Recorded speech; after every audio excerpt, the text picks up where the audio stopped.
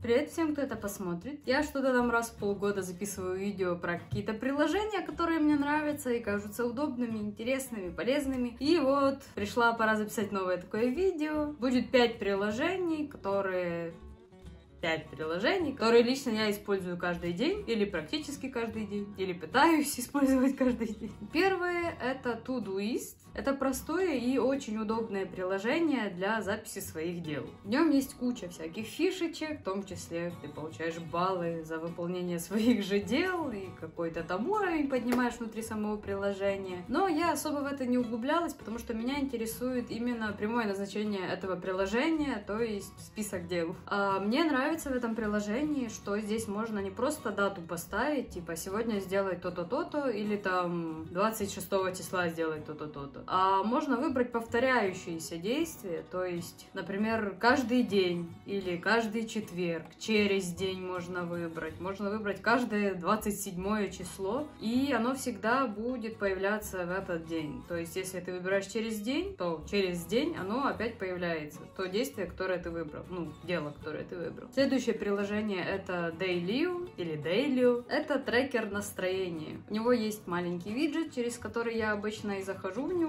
чтобы отметить настроение. Потом выбираю иконки того, что сегодня происходило. И все эти иконки и разделы, в которых находятся иконки, можно редактировать абсолютно под себя. Можно удалять эти иконки, надписи менять, названия их менять, выбирать саму картинку иконки, добавлять свои какие-то, придумывать дела, списки дел. Я тоже парочку своих добавила, парочку ненужных удалила. Также можно устанавливать цель на неделю. Можно добавить описание дня или описание какого-то определенного момента, в этот день, добавить фотку, чтобы потом можно было вернуться в этот день, вспомнить, вот, что происходило, какие иконки ты выбрал, какое настроение у тебя было. Допустим, у тебя было плохое настроение, ты хочешь вспомнить, почему, ты возвращаешься, если ты сделал заметку или добавил фотку, или еще что-то, то ты вспоминаешь. Или если у тебя был прекрасный день, то ты абсолютно так же возвращаешься и вспоминаешь это все. Также тут можно менять цвета темы, настраивать иконки настроения, то есть абсолютно все можно менять под себя. А единственное, что там некоторые цвета и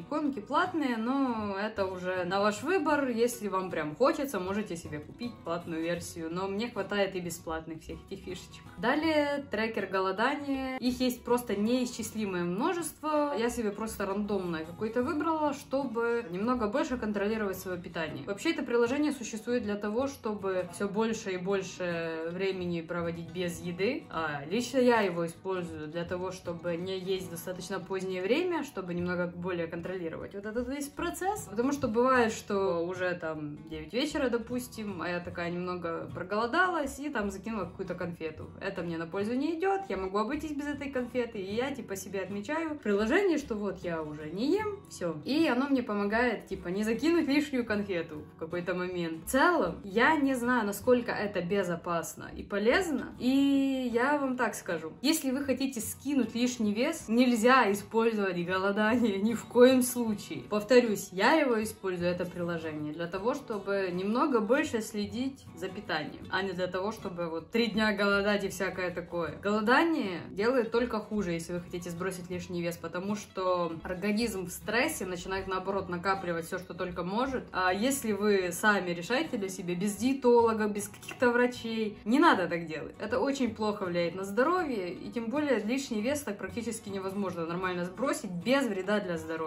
Это невозможно. Будьте осторожны с такими вещами, потому что они вызывают расстройство пищевого поведения и всякое такое. Теперь немного про какие-то милые, спокойные приложения без расстройства пищевого поведения. Это Moments. В это приложение я также обычно захожу через виджет, и это приложение существует для того, чтобы обмениваться фотками между людьми. То есть вы скачиваете это приложение, другой человек скачивает это приложение, и вы ему на этот виджет сбрасываете любые фотки и вообще что захотите. Можно делать фотку, можно сбрасывать какую фотку, которая у вас есть в галерее. И мне вот отправили мемоль, мою кошку, и у меня она стоит на экране теперь. Все прошлые фото, которые вы друг другу скидываете, можно посмотреть вот тут, но у меня сейчас нет интернета, так что вот. Одновременно это приложение могут использовать до 9 человек, то есть вы и 9 ваших друзей, знакомых, партнеров, кто угодно скачал.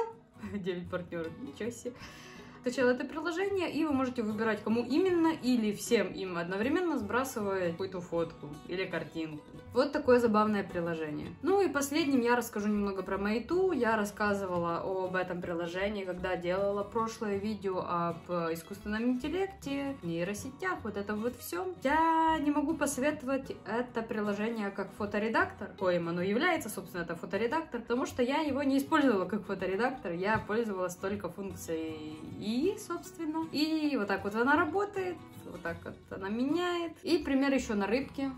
То есть, если мы берем не человеческое лицо, а просто там, рыбу, допустим, или какой-то другой объект, то получается вот такое вот. Искусственный интеллект пытается что-то создать, что это ему напоминает. И вот получилась какая-то странная кошка на какой-то планете. Но интересно, поиграться можно. Ни в коем случае не используйте это приложение для мошенничества и продажи этого всего как свои арты. Так нельзя делать. Не будьте плохими людьми, не делайте плохие вещи.